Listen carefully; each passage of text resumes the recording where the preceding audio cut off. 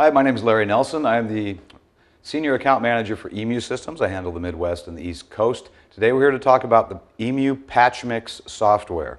This is the software that comes with all of our hardware solutions for the PC, desktop, and laptop.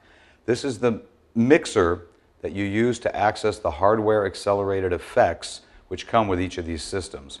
Uh, we're the only company in the world that gives you hardware accelerated effects on the, on the card, on the laptop systems, or on the chip on the PCI based systems.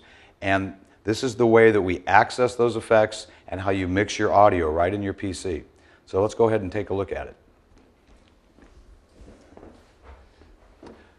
If you'll notice, the Patchmix looks just like a mixer, which it is. It is a mixer. Pretend it's the mixer on your desktop. And it's just sitting to the side of your PC, and that's how you route audio in and out of your DAW, out of your MIDI sequencer, your CD-ROM player on your PC. You'll notice you can have different strips, mixer strips. Here is strip 1. The input to strip 1 in this case is ASIO out 1 and 2. This would come from Cubase, from Sonar. This would be your input to strip 1. You can create up to 17 strips, 15 of them stereo, 2 of them mono. You have six insert points. Each of these insert points can be a, you can have a peak meter, you could have your effects, and you could have a send and return from each of these strips. You also have your pan for each strip, your aux sends for each strip, your gain, your mute, and your solo, and you can name each of your strips as well. Again, you can have up to 17 of these. 15 are stereo input strips, two are mono mic input strips. We'll notice that the second one says dock mic line A. This is a mono strip. This is if you plug your microphone into your preamped channel on your audio dock for your laptop or for your um, PCI card solution. Again, your aux sends, your six insert points, your, your volume, your mute, your solo. We also have six inserts at the mains if you want to do some mastering. And again, these are mastering grade products. We have signal noise ratio as good as 120 dB. Uh, we also have sends at the mains, and you have your monitor sends, your sync, and you have this big TV screen over here on the right hand side. This is, allows you to do several things. First, we'll look at our inputs. This allows us to monitor, right now we're monitoring our physical inputs.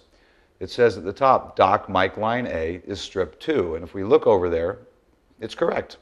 If we look at dock mic line B is strip 4. We look over there, that's correct. Why do we have this monitoring system? Well, because if you have all your strips completed, you can't necessarily see all of them at one time. So this allows you to monitor what physical inputs are going to that strip. You can also monitor your host inputs. In this case, it says wave left and right going to strip one, I'm sorry, going to strip three, and there it is, wave left and right. So again, you can monitor your inputs from your host applications as well.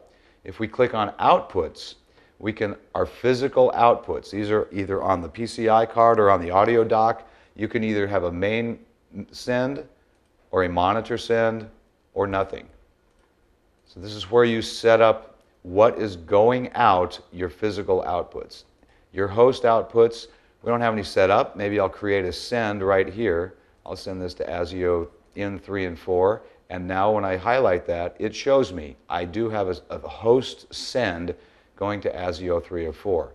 So this allows you to set up to monitor what you've created um, as far as in, um, inputs go. I'm sorry, outputs go.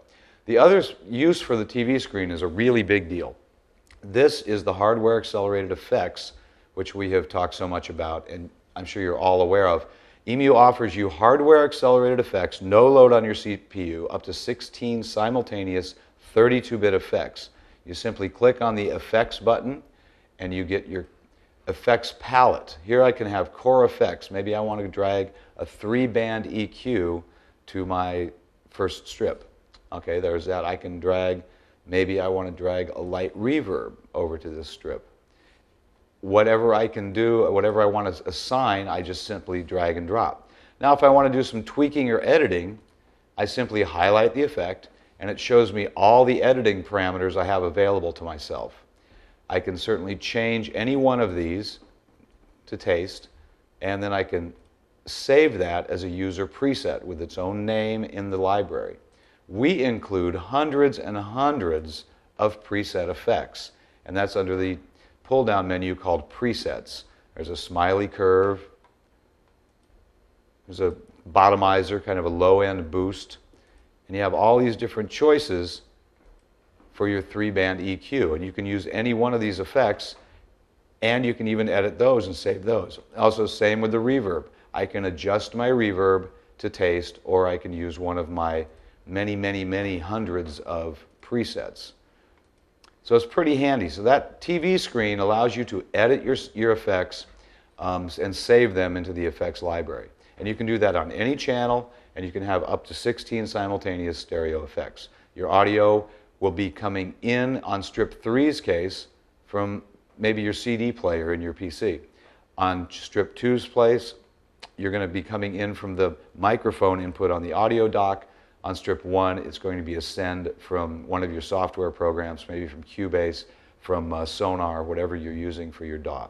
So that's a quick rundown. It's real simple. It's a, it's a really cool little app. It's always active. All you do is, is click on your uh, little E-Mu icon. It opens it up. Close it. It just goes right back to where it was.